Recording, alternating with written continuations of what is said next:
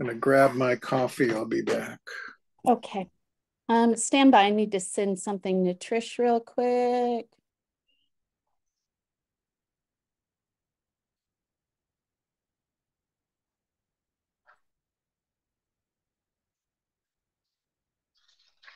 Uh, this phantom note taker is gonna take notes.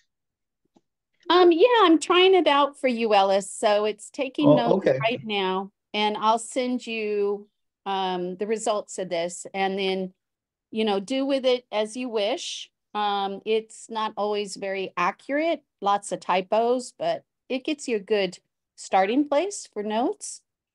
It's easier to fix typos than to start out from zero. Thank you. Thank you. And let me go ahead and get started here. Um, first off, welcome. Welcome to members, welcome to new folks, and I'll make some introductions here in a, in a moment. I just really wanted to start by opening up on Saturday. I was actually in the process of negotiating a spot for the UDC's um, campaign office. I was talking with a longtime realtor here in town who owns a lot of real estate and was actually able to convince him that it might be a good thing. He hadn't done it for 50 years and was ready to consider renting a spot um, in downtown Livermore, right next to the donut wheel. and midway through Saturday, I started getting texts from him saying, Well, are you going to have police security around this building 24 hours a day? And of course, my response was no, I have insurance, but we can't guarantee police presence 24 hours a day. And then a couple hours later, then there was the assassination attempt on the ex president. So, needless to say, that deal fell through. Um, the fear of political violence is real. It's affecting our ability to get a campaign office.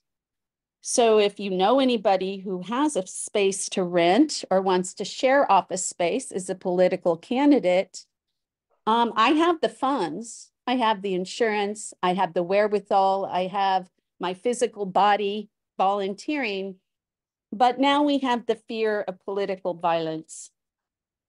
Um, it's unacceptable. What happened is unacceptable. But after the shooting, you know, I saw people, Trump supporters, flipping off the camera, flipping off the press, blaming Democrats for this, even though it's their policies, their policies on gun control, their policies on assault weapons um, that I believe was the cause of what happened this weekend. You can blame political violence if you want, but if we didn't have 20 year old kids, 20 year old abused kids having access to assault weapons, this thing would have not happened either. I want to share something that Bernie Sanders said. He was on Meet the Press this weekend. And I know a lot of you guys don't like Bernie, but I tell you, he hit the nail on the head. He said, political violence in any shape and form is unacceptable. Take a deep breath and remember what politics is all about. It's not about radical rhetoric. It's about a series of conversations about policies. It's kind of a boring discussion, serious discussions about serious issues. Um, he says harsh rhetoric doesn't have a place in politics. What we need is a nation. What a democracy about is not radical rhetoric. It's about a serious discussion where we are as a nation and how we go forward. Um, he also continued with, you know, what are these serious issues? Starting with climate change, lowering the costs of healthcare, a woman's right over her own body, improving healthcare and Medicare for all. Look at what the Republican Party is doing. Don't listen to what they say, watch what they do. and with that, I'd like to open up tonight's discussion. Um, tonight, I want to welcome first new members. Um, I'm gonna take a look at the screen. Do we have anybody? Oh, I know, I know. Where is he? Um, Steve, do you want to unmute yourself? Um, I want to introduce somebody here tonight who will be coming back to our club to seek endorsement, but I wanted to open up the floor just to make a brief introduction. Um, Steve Lanza will be running for Chabot and Las Positas Community College. Um, and I'm going to let you announce that yourself because I'm going to mess it up for you, Steve. Go ahead and introduce yourself. Sure. So I actually uh, filed today. So I have filed to run. I'm an incumbent. So I'm the current Area 7 uh, trustee for so Livermore, predominantly Livermore, a little bit of the south, uh, southeast corner, of Dublin and San Ramon, uh, as it's drawn, uh, representing this region, this area for uh, the Chabot Las Positas Community College District. So I've been on the district for just shy of well, let's see, actually it's July, so I keep thinking just shy of two years, but that will be at the end. So I'm uh, 18, 19 months in, and uh, and getting great. Uh, it's a great experience, and it's an incredible organization, and so I'm enjoying it, uh, and feel like I'm contributing. So I have uh, Silicon Valley background, and I'll share most of this later. So I'll, I'll keep this brief because Jackie says I'm coming back next next month. But um, I look forward to learning from all of you. I know uh, several of you uh, on the call already, and uh, look forward to meeting and learning from many of you as we uh, go through this process. So thank you for having me tonight. Thank you. Um, anybody else new to the club that wants to introduce themselves, have not been to a meeting or Andrea, go ahead, unmute yourself. Tell us about yourself. Hi, I'm Andrea Burnett and I live in Dublin. And um, I'm glad to be here tonight. I so far for campaigns, I'm a I'm a avid postcard writer, but um, other than that, I haven't uh, been to uh, any Democratic clubs besides Rossmoor um, and their events. And so I'm glad to be here. I'm a retired court reporter. Wonderful. Thank you. Thank you. And if you haven't already done so, you can go to our website and sign up for our MailChimp distribution. If you sign up under our website, you'll get on all of our listings, all of our notifications. So I would encourage you to do that. Um, anybody also- else? And also for the candidate, uh, my father was uh, one of the founders of Chabot of Las Positas. Um, he was the dean of students. Good, good. And welcome. Thank you. Welcome to the club. Wonderful, thank you. Um, I don't see any new, other new faces out there. Um, tonight for our agenda, um, we will be, um, going over some of the current updates of what's happening in the committee. I did invite Igor Tregub um, here tonight. He may jump on the call later, who is the chair of the Alameda County Party to talk about the convention that's starting. The DNC convention starts August 19th through August 22nd, and it's in Chicago. Um, the RNC convention started today. If you saw that, they picked their VP uh, nominee. Um, it's going to be JD Vance, a senator from Ohio. Um, he was once a no Trumper or a never Trumper, and boy, has he changed his tune today. So um, that's what's happening at the RNC. Um, the first thing we were going to discuss or vote on is the Renters for Justice Act. Then we will have Kelly go ahead. Uh, she is running for reelection for uh, Pleasanton School Board. So we'll have her speak and we'll endorse on that. And then after we vote on these two issues, we will be stopping the recording and having everybody have an opportunity to um, just freely talk without it going out on the internet and talk about this election, talk about the recent events of this weekend, or anything else you want to get off your, your chest. Um, so first, first up is the Renters for Justice Act. Um, I did send out um, that information to all members. Um, in essence, what, what the act would do is strike Costa Hawkins from California law altogether. So it's that entire section of Costa Hawkins in its entirety. Um, we did send that out to club members. I wanted to open this up for some discussion for a few minutes of people who speak for that bill and people who speak against the bill, and then we'll open it up for a vote. Um, first off, is there anybody that would like to speak in support of the Justice for Renters Act, striking cost, uh, Uh, um, Costa uh, Hawkins? Secretary has a question. Uh, Yes. We're gonna vote on a resolution or what are we voting on? That we endorse or do not endorse this bill. Okay, So so it's it- endorsement. It's an endorsement, I so, just it wanted to would- get that straight. so it would just be an endorsement on the um, Justice for Renters Act if we, so, you know, vote to do that. Um, is there anybody that would like to speak in support of the Justice for Renters Act? And if you don't know, if you didn't read through it, let me just give you a highlight. Um, last month, we heard from special guest speaker Daniel Anderson. Uh, the Costa Hawkins Rental Act is currently a part of California state law. It was enacted in nineteen ninety-five.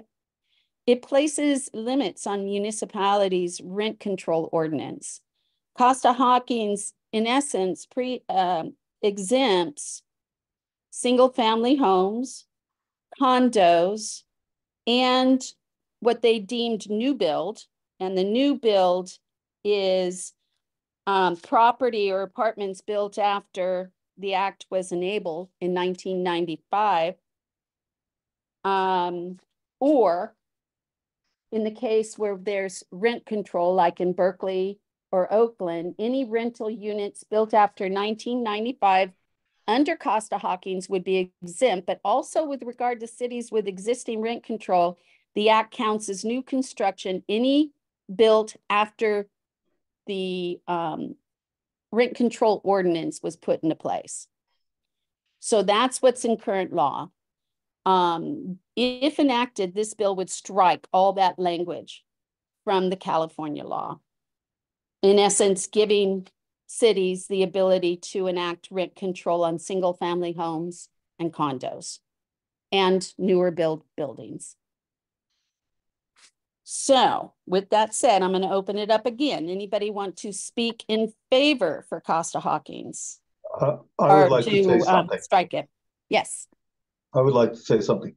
When I asked uh, Daniel uh, Anderson last month who was sponsoring this, he said that the union that represents hotel workers was sponsoring, that is getting the signatures, and this is several million dollars to get signatures, uh, enough signatures to put it on the ballot. And he said that the uh, hotel workers union is doing this because this will provide considerable amount of low cost housing which hotel workers want we're talking about the maids and the people who work at the hotels which are a majority of the employees so my feeling is uh, we don't get into the, the weeds very much but knowing who's sponsoring it and why tells us very much about what this this bill would be. So uh, I'm going to vote for it. The one thing I found when I did a little research, you know, I was all gung ho ready to go with endorsing it. And I have to um, preface that with that I'm a landlord. I have single, two single family homes that I rent. And, you know, I don't have, I don't have a fear of rent control because I charge fair rent and I'm good to my tenants and I would always be in compliance, even under the strictest rent control. But what concerned me was when I did the research, I found that Buffy Wicks, of all people in Oakland, is against this. And I went, Buffy Wicks, really? The most one of the most progressive people in in um in our legislature. And what her reasoning against it was she feared that it would stifle construction that there would not be the incentive to build new construction if you couldn't charge a higher price than the older construction or single family homes that tenants or landlords small landlords might get out of the business of renting single family homes might just sell them instead. So i guess you know that concerned me when i saw that buffy wicks was against it.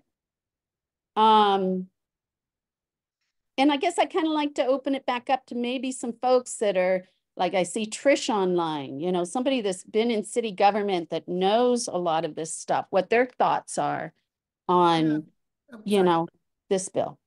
Yeah, I can, I can, I've, I've been looking here, hang on a minute, let me. Yeah. I'm trying to, I'm trying, okay, there we go, sort of ish. Um, I've thought a lot about this and honestly, I, I have, I have very mixed feelings about rent control in general for exactly those reasons. Um, is, uh, I, I think the goal there's there's two competing issues that I see. One is how do you prevent uh, how do you how do you encourage legally, you know, through law, landlords to be the kind of landlord you are. So that is a public good. That's what we would want in general, in, you know, from our from our laws is that everybody's not going to act honorably. So how do we make that happen?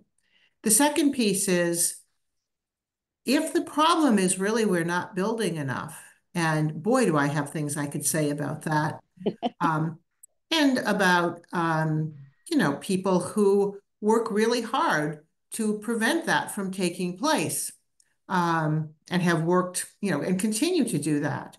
You know th- that to me is really important. That is where the energy should be spent.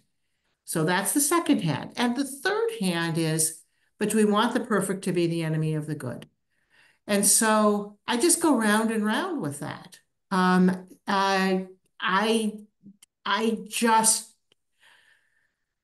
I, I, I feel like this is not the right answer. I also, again, I'm worried that what I'm trying to do is make the perfect be the enemy of the good. It's not very helpful, but it's what I can offer. Others, other comments? Do we have any other city council people on tonight? I don't have the full I'm, view. I'm, I'm here, Jackie, but I just got on a few minutes ago. Are you talking about the state? And we're talking, to- uh, hi Valerie, thank you so much. Um, we're talking about the Justice for Renters Act. Mhm. And one of the thing that caught my eye is Buffy Wicks is strongly against it. Um, because she thinks that it will stifle construction. That it would curtail, you know, all these people that want to get in to build and, and because it would expand, it would get rid of the exemption for single family homes and condos. It gives the cities the ability to do rent control, but it um, it has the whole um, it- it's trying to de- to detour from vacancies. So if you have, let's say I had my sister renting from me for half the price. And then I go to rent to the public, you know, I'm kind of stuck with the price, whatever I rented to my sister, because um, i- i- it's, it's based on the last tenant. It Doesn't matter if, you know, you're giving the tenant a deal or not.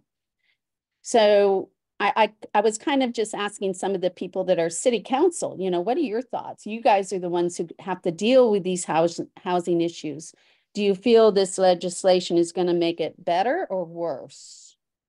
Yeah, you know, and I personally, I've heard both sides of this argument.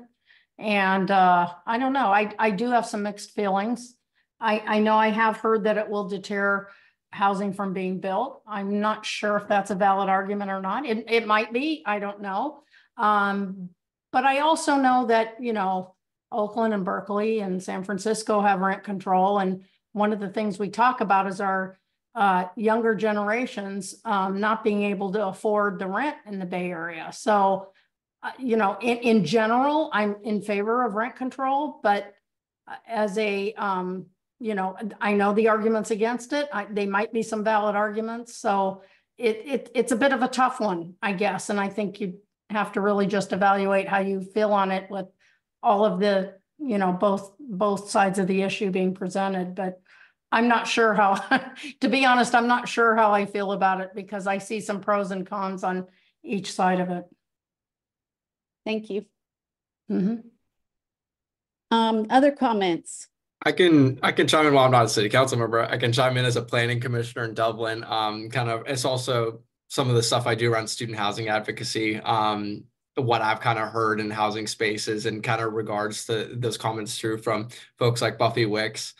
Um, well, I just like I guess I would just start off by saying personally, I think one of the biggest things in terms of there's like being just an absolute need for reform around current like rent rent control and Costa Hawkins. I mean, it is just such a you have to go a city has to go through such a political mudslide in order to have to get a rent control ordinance passed in the first place, especially when you think about the fact that really only certain cities, I feel like, especially of a certain size, right? You think of more urban cities like Berkeley and Oakland and San Francisco have been able to have easily um, the ability to cobble a political majority towards passing a rent control ordinance. And I think in that way, um, that is, I think, one of the big differences that I think needs to be addressed, right? And if we want to seriously talk about being able to um, work with rent control um, across many jurisdictions across the state, right? That being able to do with a simple council direction um, that can take in community input without having to make it a very contentious, divisive elective issue um, for each individual city as they talk about it.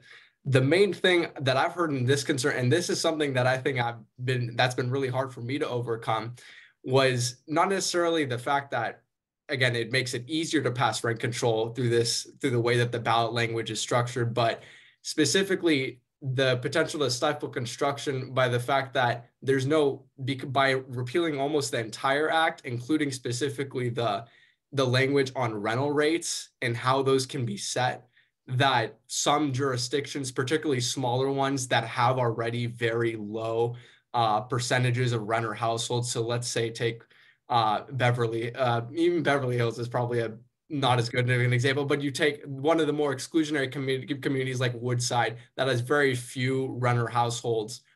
They could theoretically, this is the point I've heard, theoretically, they could set uh, rental rates such that, I mean, you could basically have no rent increase from backdated from a certain point and to a point where it basically would make it near impossible to uh, for any kind of rental project to pencil um, by not having again any kind of state guidance on how much you can set um, those rental rates um, or just how much you can cap those rental rates. So I think that's the main concern I've seen, and I haven't really seen any substantive response to that. So that gives me pause.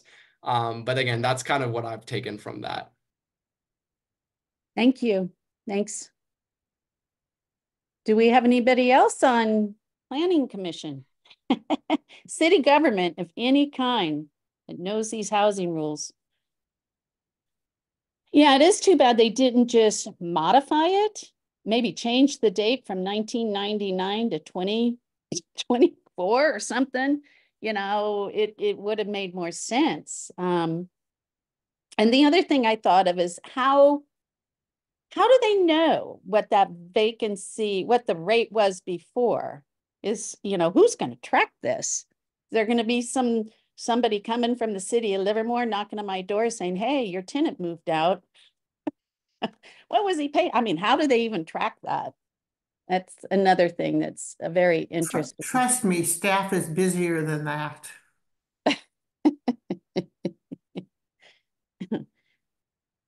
um, any other debate on that? For or against or questions? I guess I will add one perspective that I saw that I think was even more concerning than the pause from some more progressive legislators like Buffy Wicks was. I remember, I believe it was a city council member, a Republican city council member from Huntington Beach, really oh. going all in on this, and I was that just that that gave me a little bit of pause. So I that read that. I read that. Yeah. And, they- and what they were saying is they feel these coastal cities feel this will in essence kill new construction. And that's why the, the Republicans are all for it because they figure, yay, now we won't have to build this stuff. Uh, Jackie, as a procedure, um, I don't think that we're ready to make a vote on this because most of us have just shrugged our shoulders and say, how should I know? And I, I think that would be more appropriate would be to take a vote on whether we're going to vote on this. Um, I guess that's calling the vote, or, or I don't know what the parliamentarian would like to call it. But uh, rather than stepping into something that most of us are kind of torn on, um, doesn't seem to make a lot of sense. Unless we vote on it next meeting. Well, it, it, Well, even and I putting it do- off, I don't think we're going to be smarter next meeting. I do But, have it uh, as a part of the ballot tonight. I mean, we could definitely, you could definitely abstain and then there would be no vote counted towards it. Um, or members can vote uh, yes or no. I could take it off there if the parliamentarian and the members deem that when- that's what we should you do. you abstain, you really are are not saying that I don't think the club should take a position on it. Can we make a motion to pull it from the agenda? I, I Uh, personally don't feel that I have enough information to make a decision, um, based upon what's been shared thus far. Uh, I would not be comfortable voting right now, so could we pull it from the agenda? Do I have a second? I'll second it. All Do we in want a parliamentarian to, to rule in as to whether we can do this or not? Oh, That's been the question. And the, and the answer is that there's no specific guidelines in our document that indicates that we are forced to follow any of the uh, guidelines or any of the items in our agenda. Thus, we are free to take and change the agenda uh, at will, and thus we can uh, decide not to vote on this tonight. Can't we just table the motion? There is no. don't There's vote, a we just bring it motion, there was, there was a motion to pull it from the agenda in a second, so Correct. Do we have all in favor? I, Uh, Aye. Aye. All opposed? Okay, I will pull it from the vote, um, from the, uh, ballot for tonight. By the way, the, the bill is, it, it's an entirety in the email. So if you click on the link for that Costa Hawkins, you'll have the entire text of Costa Hawkins. So what they're proposing is that whole thing just gets stripped out of California law. So it has been sent to members. Maybe we could take this up again next month then, since we pulled it from tonight. Jackie, can I ask a Trish has her hand up.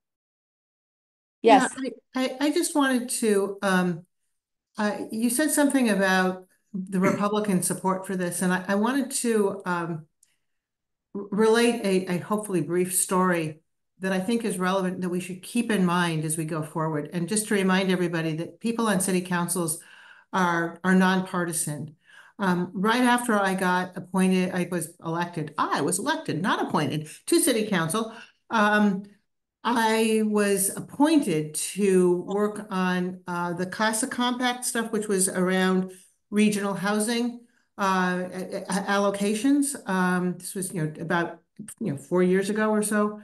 No, it was more than that. It was six years ago. Um, and um, what I realized is some of our bluest areas regionally are also some of the most anti-housing. And I started talking about people who talk blue and vote red, or, you know, act, uh, you know, vote blue and act red, something along those lines. And I said that to a council member from another, another city. Um, uh, at one of the, you know, a Cal Cities meeting or something along those lines. Very nice person. And she just looked at me and she said, I'm a Republican and I'm working on housing. So I think it's really important for us to understand that this is an area where what we do locally doesn't necessarily match what our uh, political affiliations are. Um, and I personally agree that I absolutely agree that housing, you know, keep that, that housing is a democratic issue. Unfortunately, that's not always the way, or actually, I shouldn't say unfortunately. However, the way that people act in locally isn't all doesn't always match those ideological beliefs. So that's my story. I'm done. Thank you. Um, Kelly, did you have a comment? I know you had your hand Oh, raised. sorry, yeah, I was trying to find my self view. I finally figured it out. Um, no, I was just gonna ask a question if, um, if you wanted to re-agendize it, if we could have someone from, you know, who is driving this come speak to the committee to give a little more proper presentation versus living, leaving it up to all of us to read literature on it. So it was just a clarifying question. Thank you. We did have somebody speak to this last month and it is. Oh, I missed it then. Yeah, and and that's why I didn't rehash it again because it was discussed last month. Um, I sent the entire Costa Yeah, I saw the, what you sent.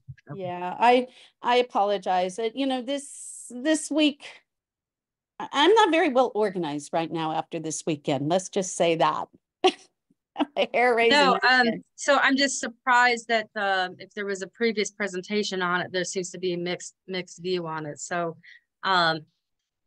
Yeah, so that was why I recommended to pull it from the agenda, because it seemed to be a lot of mixed. You know, I want to make it right for if we're gonna vote on it, so that's all. Okay, Thank you. Thank you. And, and it's, I'm glad. I, I'd rather pull it than endorse something that ends up being a bad bill. So that's okay. Um, any other comments on this before we move on to our next segment? Yeah, I I think it might be appropriate if we can find someone to speak, um, as Kelly said, from those people who brought the issue. So if we could hear from both sides, that'd be wonderful. Um, but I think we can also um, make it on the agenda to make a vote for next month. But if we decide that we don't have a sufficient base of knowledge in which to make uh, responsible decisions, we'll just cancel our vote next week also, or next month also. I will re-invite the, the same folks back and see if they can do their arguments and ask, uh, answer any questions before we put that to a vote. I'll make sure we have those people available. Uh, Wonderful. Jackie, may I suggest you invite Dean Wallace?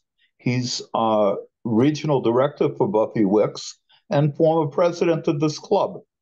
Actually, he's left Buffy Wicks' office. He's working. Oh, working, really? He's working for somebody else up near SAC or something. Oh, I Don't think he's in Buffy's office any longer. You But know, I could reach Jackie- out to her office directly. Jackie, this is Valerie. I, I think maybe talk to Igor at the Alameda County Dems. He has done a lot of work around rent control. He might have something to offer that might be valuable to this um, club. Just a suggestion. Thank you. And Igor was gonna try to be here tonight, but he must have got caught up in something. He just texted me and yes, he can't make it until later, he said. So um, he does support this um initiative. So um, I don't know, it might be valuable. He does head our central committee. Um, might be valuable to hear what he has to say. So maybe for next month, perhaps. Will do. I will get his talking points if he cannot attend, at least. Um, any other comments? Anyone? Um, I am going to spotlight our next speaker. And, um, first off, we have been doing some endorsements, local endorsements. I know that uh, there are still some folks pulling papers and I actually had a complaint that I did an endorsement early before one of the Livermore folks filed. And so Ron, I'm, I'm going to give you this task of maybe reviewing our, um, our bylaws to see if we are following, I guess, to ensure that we're, we're not endorsing too soon, that we have enough, that everybody's had a chance to file so that somebody doesn't come out after the fact and, and ask for our endorsement. Now, obviously, if they were a club member, they'd know we were doing these endorsements. So I always encourage people to stay in touch with the club. So if I'm doing something wrong, my club members can keep me on track. Um, but we're going to go ahead and move forward with our next endorsement tonight, even though, and Kelly, you're going to tell us if anybody's running against you. But um, our next member, our next um, endorsement um, is going to be for a member that has been with our club for a long time. Um, uh, she is currently on the Pleasanton Unified School District. Um, she's asking for our endorsement for reelection. Um, this is for area three. And uh, Kelly, you, you, uh, we know her. She's a longtime educator, a former adult member of the City of Pleasanton Youth Commission, and was first elected to the school board in November 2020. It's with great pleasure that I want to introduce to you Kelly Mokashi for Pleasanton Unified School District. Uh, thank you so much, Jackie. Uh, it's my pleasure to be here tonight. I'm actually uh, zooming in from my homeland of Iowa, Midwest is uh, dear to my heart, but I'm super excited to be here tonight. Um, as Jackie introduced me, I am a, uh four-year trustee uh, from Pleasanton Unified School District. Um, just a little bit about myself. I am from Iowa. Um, I grew up here, uh, did my initial education in the Midwest. Um, my initial opportunity was to teach in Houston, Texas as an art educate art educator, uh, inner city, and then also had an opportunity to teach in Trenton, New Jersey. From there, I had an opportunity to do professional development training uh, for Pearson Education, which, which is a universal uh, international publishing company, but I did professional development training with teachers in districts nationwide during an era of reform uh, for underperforming schools and districts. So I worked um, in places like Harlem, uh, Texas, California, Florida um, on reform, um, improving student achievement for uh, students who needed success, students of, um, as we call marginalized now, but you know, African-American students, Hispanic students, allowing for opportunities at that time in CLD. From there, I uh, worked in the nonprofit sector as an executive director for a nonprofit raising um, adoption grant funds for orphans internationally. Also did online coursework and um, during COVID, I had an opportunity to get back into the education tutoring work, um, helping with um, online tutoring with all of the COVID relief funding. But most recently, I'm super proud to share that I'm actually back in the school district and I am uh, working in Fremont Unified School District in the Tri-Valley area as a community school coordinator. If any of you are familiar with the Community School Initiative, it's um, quite broad nationwide as well as statewide. And most recently, I was able to award a 1.1 million five-year um, uh, funding grant for one of the most neediest schools in Fremont, an elementary school. So I'm back in the district, but uh, at the um, political level, um, I have three children in Pleasanton, to high schoolers as well as the middle school. And I came into uh, Pleasanton um, elected in 2020, beating an incumbent. I'm super proud of that. But more importantly, during a time when uh, supporting um, our students during it, the pandemic and really making a difference. And the initial reason why I ran was I'm saying, hey, I'm doing all this great stuff nationwide, but I want to make a greater impact within our community.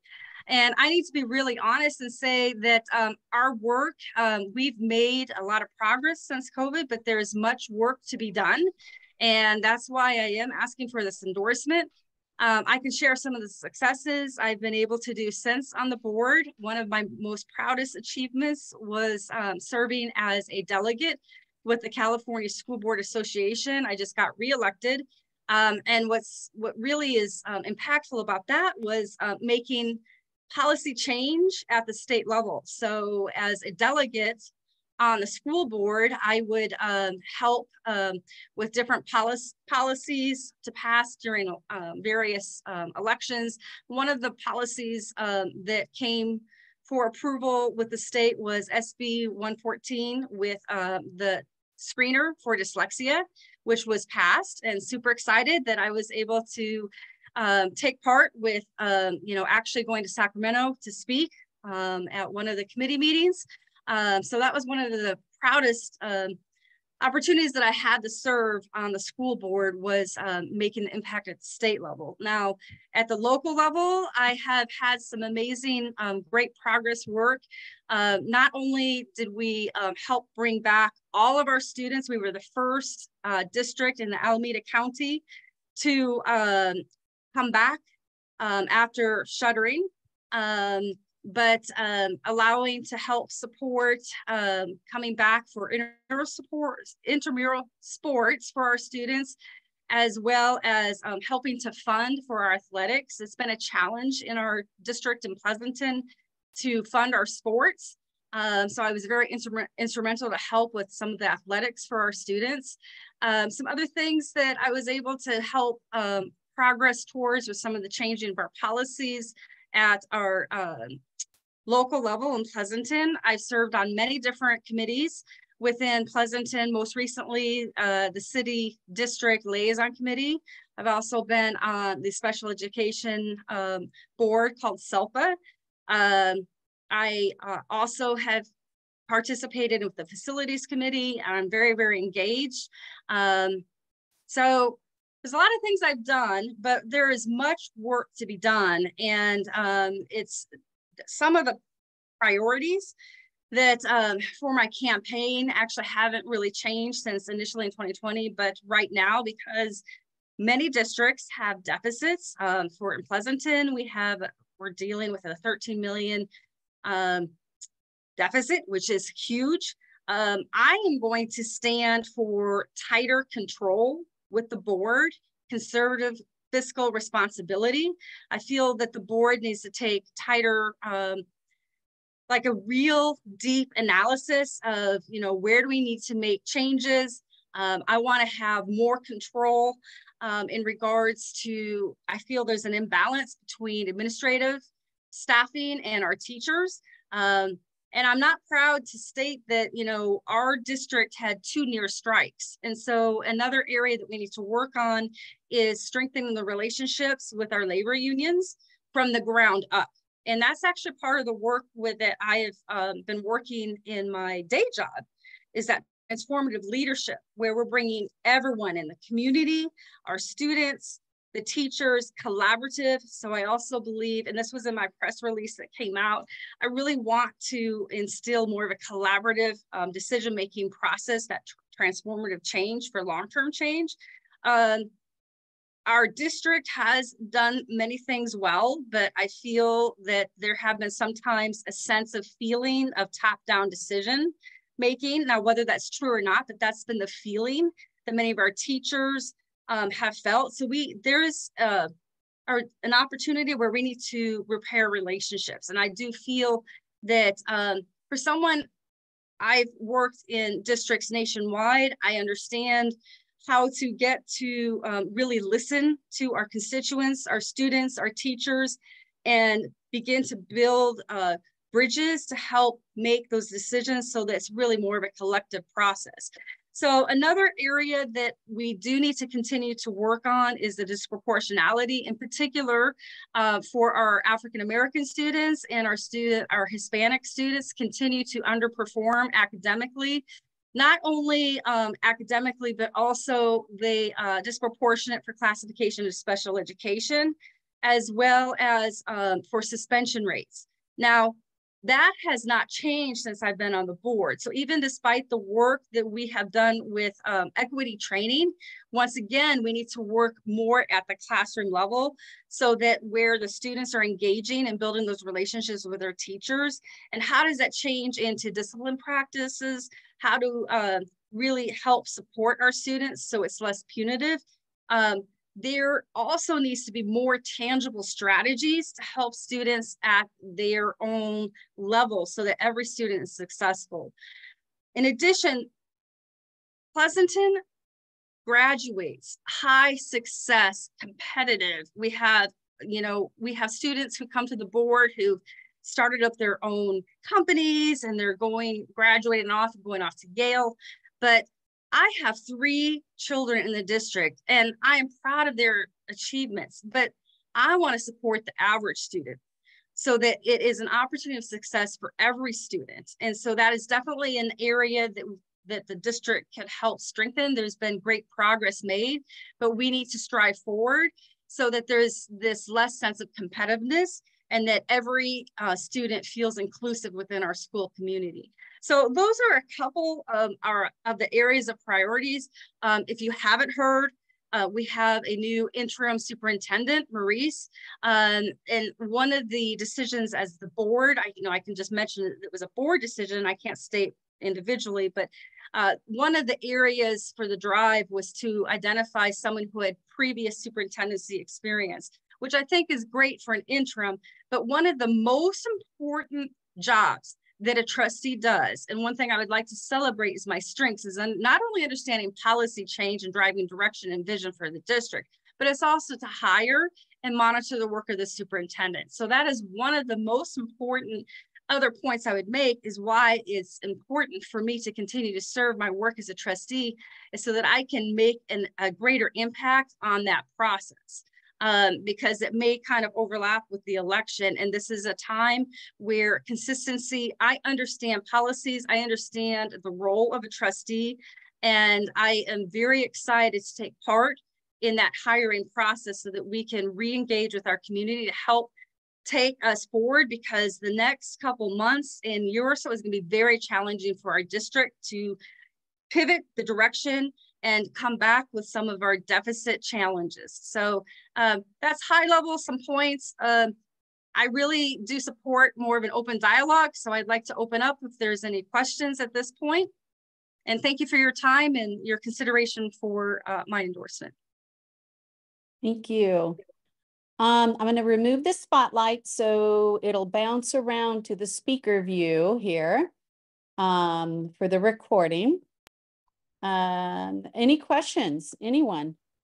Uh, I have my standard question, Kelly. what is it in your background that motivates you to get so deeply into the educational sphere? It's very, very impressive. But uh, what makes somebody do something like that? Uh, what makes I, you dedicate your life to the educational system? Um, you know, it, it, it's really tender to my heart. I appreciate your question. Um, you know, I feel like this is something that um, I was a gift born with. I really truly believe that the work is not done. I myself struggled as a student. I had a lot of anxiety with test taking. Um, I struggled and lacked confidence in my um, actual like high school career and it was at a point when working with um, my grandmother who inspired say, hey, Kelly, just pursue your, or, you know, art passion and going to the arts. And um, I have that passion to really make a difference. And I feel that the work is not done. Like I said, um, you know, it's my life passion. I really want to make a difference. Um, my current work at, at uh, Cabrillo Elementary I myself recently volunteered. It was not part of my job, but I went down back into my work, um, helping to teach art lessons during the summer because to help support that opportunity for extended learning, bringing back that creativity and that spark for students is. Sorry, I got muted accidentally. Oh. Sorry, trying to unmute my computer, that really drives me. And I am, um, I just feel like my work's not done. And in particular at the board level, um, that's why I'm thankful that the, um, the role is four years because I think your first year or two takes a while for you to kind of like figure out what you're doing. And the work's not done. And I'm really proud of our accomplishments, but the work's not done. And I'll be one of those that uh, I probably won't ever retire because it's that lifelong learning process. And I really enjoy what I do. And I'm very passionate about this. Thank you. Uh, Kelly, I appreciate um, you saying about the, uh, you know, being insecure in school. When I was a kid, I was a very sick kid and had pneumonia several times um, during elementary school and lost a lot of school time. And it was hard. It was really hard picking up, even if you just lose a couple weeks. Very difficult. So I appreciate that. And my question to you is, um, who's is there anybody running against you? As of the last I looked, I could not find anybody that has claimed they're going to run against you. Well, in all fairness, the uh, window to pull papers just started today. Ah. So um, I um, haven't heard of anyone specific who has committed to running. Um, so as of right now, um, I don't have anyone running against me. So um, the time for people to pull papers is by August 9th, but I have not heard of anyone specific who has officially pledged. Thank you. Trish? That's a fair question. Yeah, well, I, like I said, I got into trouble with one, one person running in Livermore City Council and uh, we may down the road change that, but uh, I haven't heard of anybody as of tonight running against you. So we're proceeding with the vote tonight. Trish? So uh, th these are really more questions of curiosity of issues that are, are that uh, I uh, of, of the day, uh, so so to speak. Um, first of all, I've heard very good things about you, so you know, thank you we for chatted. taking- We talked about by area elections before it happened in Pleasant. We had a very long conversation. You gave me lots of. Oh my God, I remember. Yes, indeed. All right, so I'll take credit. Yay, Kelly. But I have. I want to ask and ask lots of questions when I don't know. I'm, I'm a lifelong learner and I, it's one of my tra traits I'm super proud of. But yes, what are your Yeah, questions? no, I, I, I remember that conversation. I totally forgot it and now, yes, no, absolutely. Okay, but I'm gonna ask a couple of questions. Um, I'm currently reading the book, The Anxious Generation, um, by Jonathan Haidt, um, about the effect of smartphones. So I'm curious to know how, uh, what your, what your thoughts are on how to regulate smartphones or if they should be regulated in the schools. Um, so that's one question. A second is, um, I can't remember if we talked about this, um, but we probably did because it comes up every time I talk about education. My kids were in and out of school. They were homeschooled. They went to, um, one of them went to Las Positas for, for a while. Um, hi, Steve. Um, and that connection between schools, uh, between particularly high school, but just kids and different modes of schooling. I'm wondering if you could speak to that a little bit. Um, and then the final one uh, is, is simply, um, I continue to be concerned. It seems to have fallen off the news for some reason at the moment, but the whole situation with the, the effect of um, uh, anti-Semitism that was on the rise, and I'm imagining hasn't gone away. And how, and since, you know, that you've got a synagogue lo located in, in Pleasanton, I'm curious about that. So that's a whole lot. Okay, you know? so to start, Yeah. uh, the effects of technology, um, smartphones broader, uh, with students is detrimental. Um, I actually, um, as I, I think I mentioned in my Vita briefly, high level, um, I've written courses online and one of the, um, uh, courses that I wrote and my audience are have been teachers for continuing professional development, but the research shows that um, technology usage, excessive technology use, usage not only affects brain function and how students learn, but also can contribute to additional tendencies towards ADHD, I can attest as a parent of uh, three children, um, and my youngest daughter daughter was born with uh, the invention of the iPad, um, and um, I can reflect back in some of uh, parenting errors of giving access to technology um, younger with their development, their dependency on technology and how parents have to navigate is horrendous. Now, districts, and in particular, present, uh, Pleasant and I am fully aware of some of the professional development that uh, the schools will provide for parents, but there needs to be more. And the reason why I say that is because in this industry of education, especially with my work in ed tech, there is so much hype to say, oh, we got to do, you know, use this technology tool or this um, device to teach. And, you know, uh, in particular, the district adopted science textbooks that are all online and that's actually a detriment because you know to learn about science lab work you know the students are learning it digitally versus hands-on learning. So i'm more traditional saying hey let's go back to the basics. Um, and there's um, an entire um, reform that needs to uh, go forward especially i know nationally and particularly state level and with a lot of companies with artificial intelligence it's also another uh, really big endeavor right now and we need to get some policies around um, artificial intelligence immediately as well to help uh, monitor the technology usage because um, if it's not if if we as policymakers are not careful it's going to expand out of control before we can keep uh, up with it so is something that I do have grave concerns about and something I'm very passionate about. Um, and that's one of the benefits of me being on the policy committee. That's one thing that I'll be working with Pleasanton if I'm reelected to put together a tighter AI and um, update our technology policies. So I think that's a great question. Um, in terms of the second question was modes of schooling. I'm a huge uh, proponent of uh, multiple avenues for learning for our students. Uh, you know, there's a lot of talk and training about equity. Um, I have three children and I can personally also attest that I have uh, three different children that learn completely differently.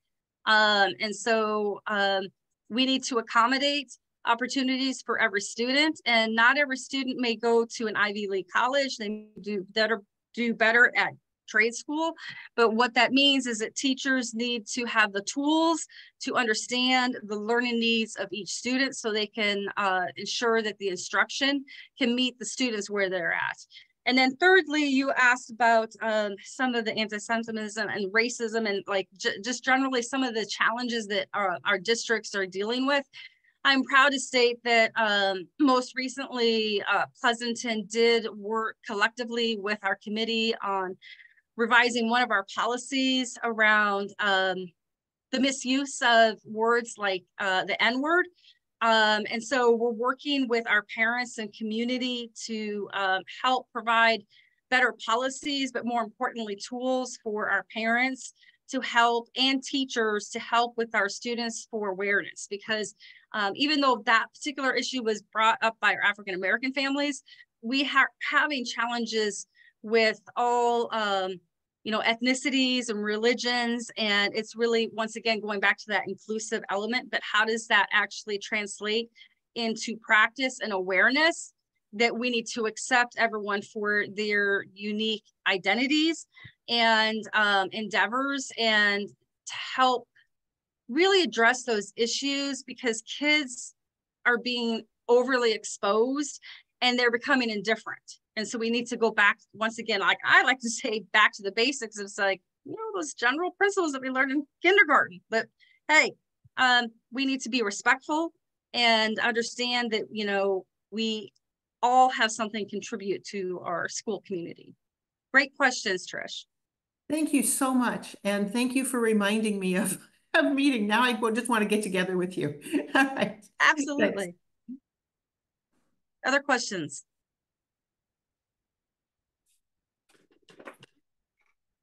I must say, um, before uh, before my time's concluded, uh, a huge thank you to Ellis. Ellis was one of the first persons I spoke to um, pre pre campaign in way back in 2020, and um, I must just attribute uh, a lot of advice and consideration from uh, you know, just to really help bring me where I'm at. And, uh, you know, there's much work to be done. So, you know, I once again would appreciate the endorsement and by all rights, I will respect and understand if you need to hold the vote until later, but uh, I really appreciate the consideration. Any other questions? We My have a, pleasure. yeah, three Thank you. for Ellis's training of a lot of candidates over the years. You asked the parliamentarian if he had any input concerning endorsement process. Did you want me to read from the, um, Yeah, Actually, what I, I think I'd like to do is look at, because what, what is, what happened is, um, in, in reading the Independent, thank you, Joan, I think you're out there today. Um, I saw that there was another candidate for Livermore City Council. And we did not give that gentleman an opportunity to speak, and he is a Democrat.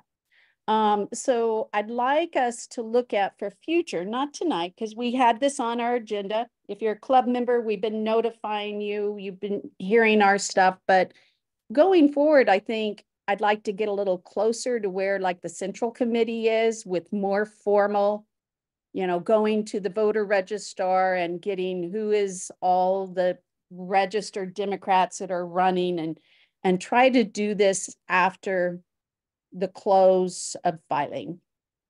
So I'd kind of like you to look at what would be required from our bylaws to make that happen, because we've been kind of, we're, we're pretty informal and obviously our club, we love our club members, people who come, come to our meeting every month and are actively engaged. Um, they know what's going on, but Democrats that don't know about our club may not. So, you know, how we can get that word out to more people and engage more folks in this process. And the other thing I want folks to remember is you can get endorsement from the central committee, and that is your official Democratic endorsement. And that is coming up. So um, if you are running for office, the central committee does reach out to everybody after filing's closed. And they will try to reach out to anybody who has um, their paperwork or their email with the county. Um, and, and tr- try to make a better effort at reaching everybody. So I'd kind of like you to look at that process, Ron, and see what we would need to do to make that happen going forward. I have, uh, right in front of me are laws that I can, in two minutes, answer your question. Article seven of the bylaws is, is called endorsements. Section three is candidate endorsements allowed. It says, for candidate endorsements, the organization shall take all reasonable actions to contact all Democratic candidates for the office and give each candidate a fair allotment of time to present to the organization. There is no hard and fast time limits or statement that we must wait till all of the filings are in. There's nothing in terms of specific times or specific hard regulation. It says that we shall take all reasonable actions to contact all of them.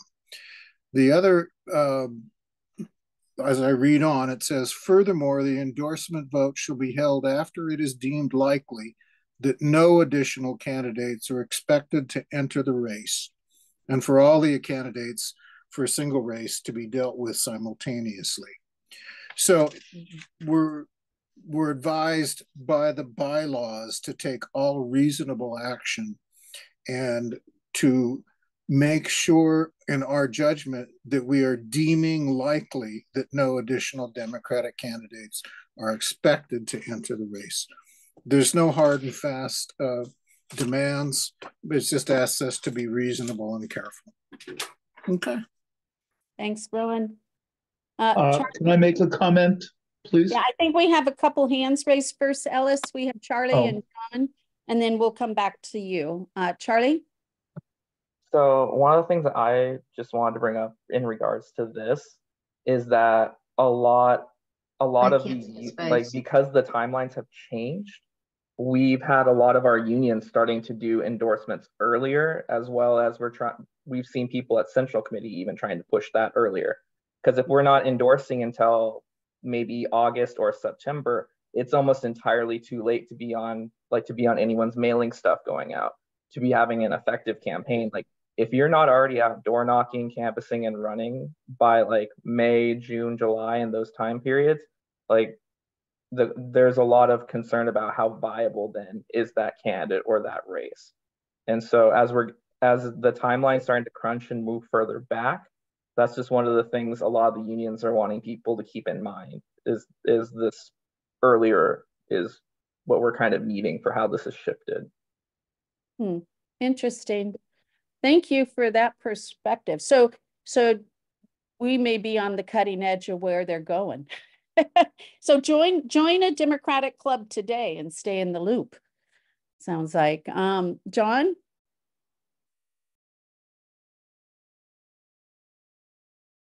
Unmute, dear.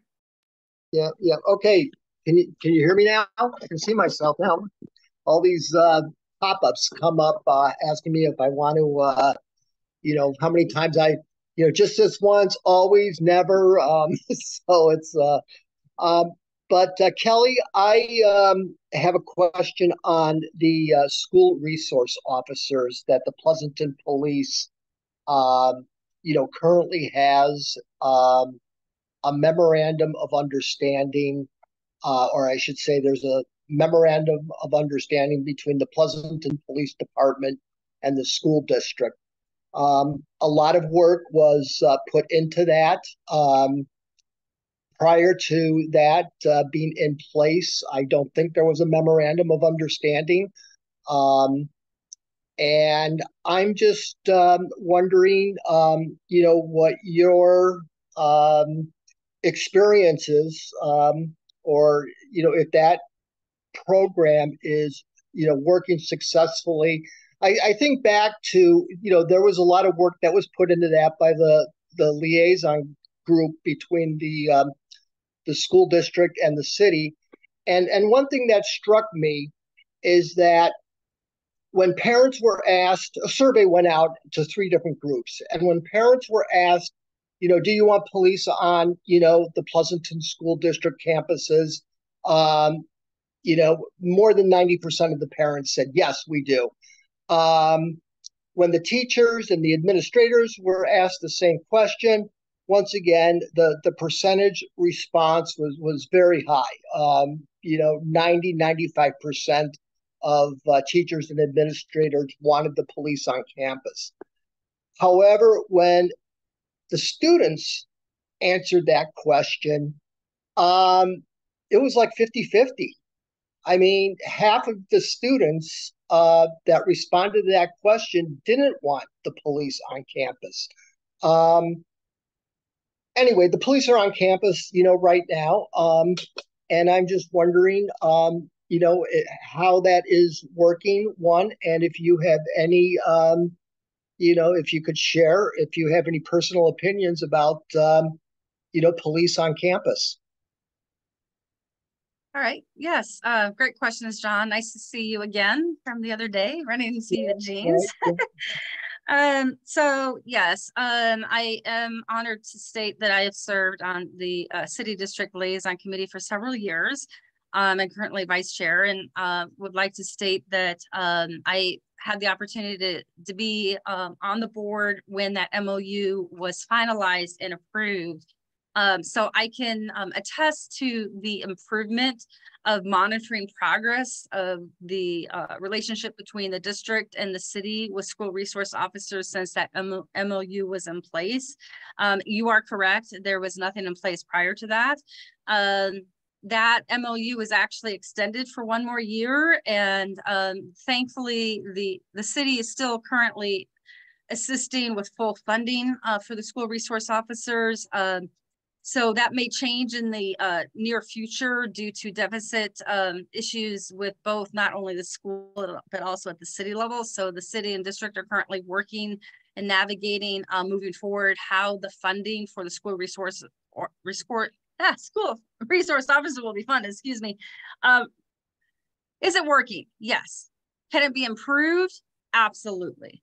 Um, and there's quite a few things that could be improved. Um, to your point, to to the um, meaning of school resource officers at the student level, uh, the reason why it's 50-50 is that a lot of students don't quite fully understand what they do um, or the purpose of school resource officers. I think there's this general sense of safety from parents and teachers with the um, presence of a school resource officer on campus.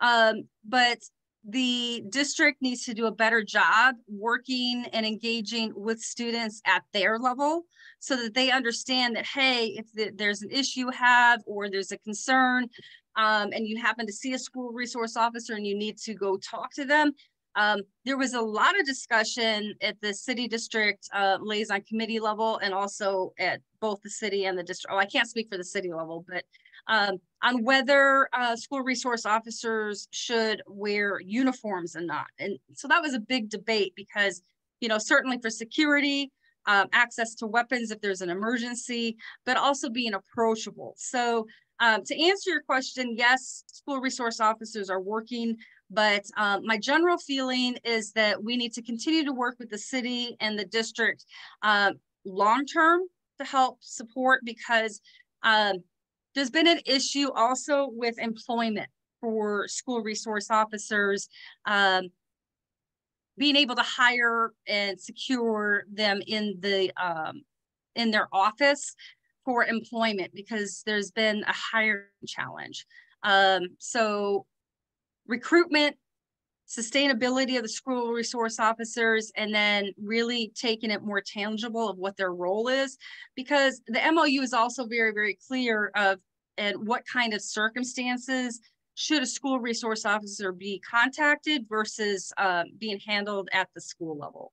Um, so I would like to state that um, there's a lot of debates for and against school resource officers, but what is it really about? It's about continuing to support students and where do they need help and support and the relationships between teachers, officers, and collective good for our students for success and having our students make good choices.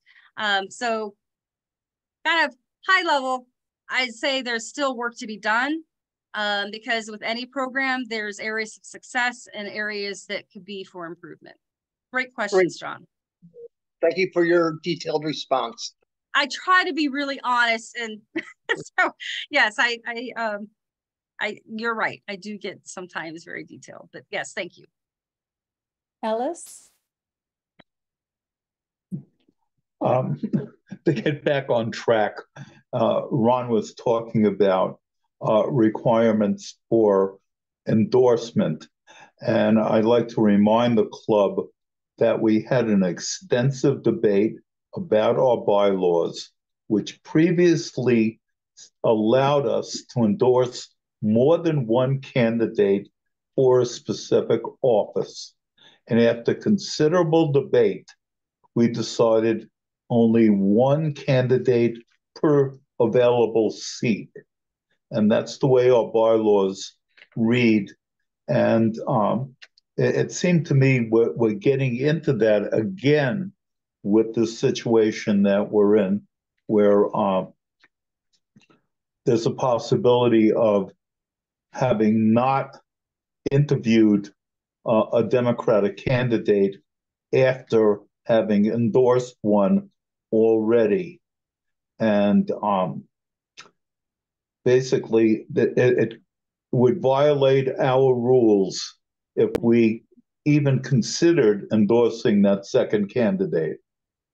And I don't think I was saying that we considered that, Ellis. I'm saying that we consider making sure that um, potentially that is potentially and that and you know there was some good reasons brought up why we wouldn't do that um, but potentially waiting and doing it after filing closed um, again you know what was stated by charlie is um, candidates want to get a run you know get a start running and I'm hoping that Democrats that seek our endorsement are members of this club and have been attending. And that's, you know, kind of my perspective. And I know Ellis said you were always a big one when you were president of trying to get that that first endorsement out there, you know, for for our given candidate. And we were the first club to endorse Eric Swalwell. So, you know, sometimes getting that foot out the door right away is a good thing. Um, I just thought I'd bring it up because that was raised to me. And and I also want to remind folks that the central committee is the official endorsement machine, I guess I should say. So if they endorse a candidate, um, the UDCs go to work for them, they raise money for them, they, you know, hit the ground door knocking for them. So if, you know, I also encourage people not only to seek endorsement from our club, which is wonderful, and we'll, we'll work hard for you, but also the central committee where you can get some actual help from the finance side as far as, you know, uh, door hangers and things like that. The committee will do those type of things for their endorsed candidate. So don't forget to file with the committee because that's also very, very important. Um, any other comment on that? Before we move on, Kelly, did you have any other closing comments before we move on? I did start to text folks out directly, members, um, a ballot to vote on. Um, if any No, member just has not. Thank you again for the uh, opportunity and consideration. It would be my honor, and uh, I'm uh, looking forward to this reelection to continue to serve our students in Pleasanton and to continue the hard work uh, because there's a lot of policy change and um, a lot of work that uh, lays ahead for um, our Pleasanton district, not only fiscally, but uh, securing a long-term superintendent in place. So I'm looking forward to uh, reelection. Thank you for the consideration. Thank you. And is there any club member that did not receive a ballot? If you could raise your virtual hand if you did not receive a ballot. It's, it should be in the chat. So you're looking in your chat window. If you don't know where that is, over in your Zoom screen, there should be some under the word or above the word more, some dot, dot, dot. And you should have a chat option there. If you did not receive your ballot, raise your hand and I will get it to you. Um, Jackie, uh, procedurally, do I abstain from the vote?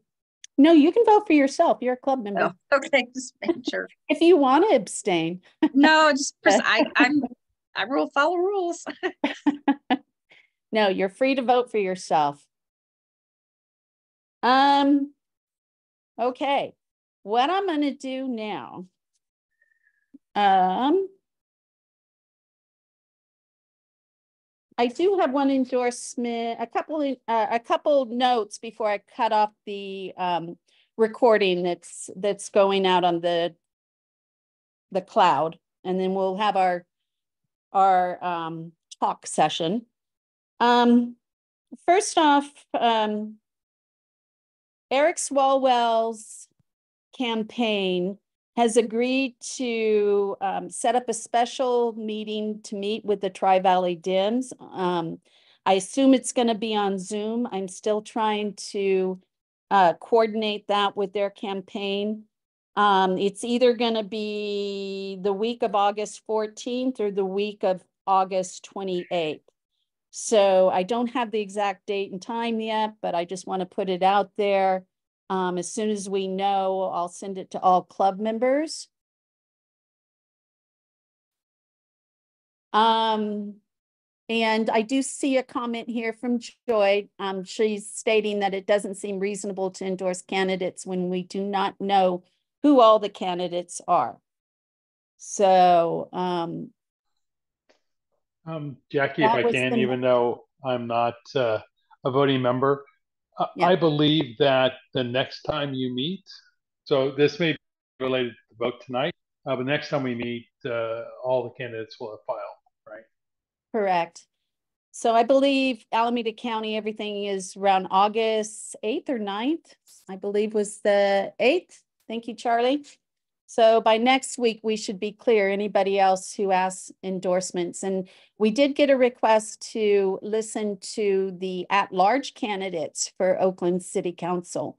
So we're trying to dig up all the candidates for that race. Um, so mark your calendars, uh, watch for the note from the TV Dems for uh, the special uh, event with Eric Swalwell. Um, also, uh, postcarding is going on with Livermore Indivisible. I will send that information out to all club members as well. So for those folks who would like to do postcarding, especially in the heat, it's going to get hot again next week. Um, look for that information coming from the club. And thank you to our partners, Livermore Indivisible, for all the good work that they do. Um, and then Madhu, do you want to make your announcements before we get into our talk session? Yeah, that sounds good. Um, hi, everyone. I hope you're all doing well. Thanks, Jackie, for handing off the mic. Um, I just wanted to give some updates on McNerney Field and where we're at. Um, so now we have resumed our phone banks. We have phone banks every Tuesday and Wednesday from 5 to 7 p.m. Uh, we've also resumed our canvases. We have a canvas coming up this weekend, this Saturday in Pleasanton um, from 1 to 4.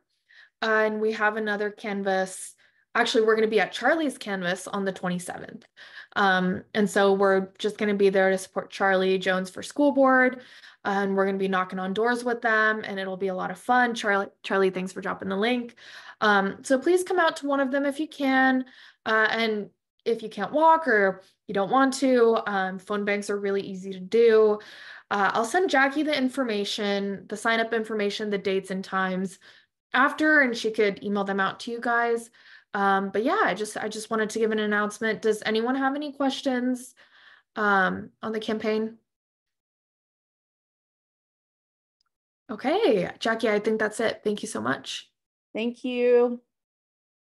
And the day after Charlie's event, we have the Tri Valley UDC event. Um, you will see that invitation come directly from me. This is not the Tri Valley Dems Club, but this is the Tri Valley United Democratic Campaign, which is the fundraising arm um, for the Tri Valley area of the Alameda County um, Democratic Party.